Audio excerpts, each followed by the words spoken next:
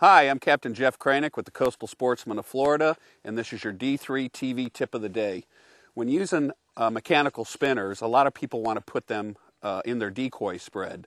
What we found down here in Florida, since these birds have been seeing these spinners since they've left the Arctic Circle, we put them uh, several uh, yards outside of our decoy spread and what we found is, is that if the birds do flare off of the spinners, a lot of times they'll flare in, back into your decoy spread. Try it in your area, see if it works, and uh, have a good hunt. I'm Captain Jeff Kraynik with the Coastal Sportsmen of Florida, and that's your D3 TV tip of the day.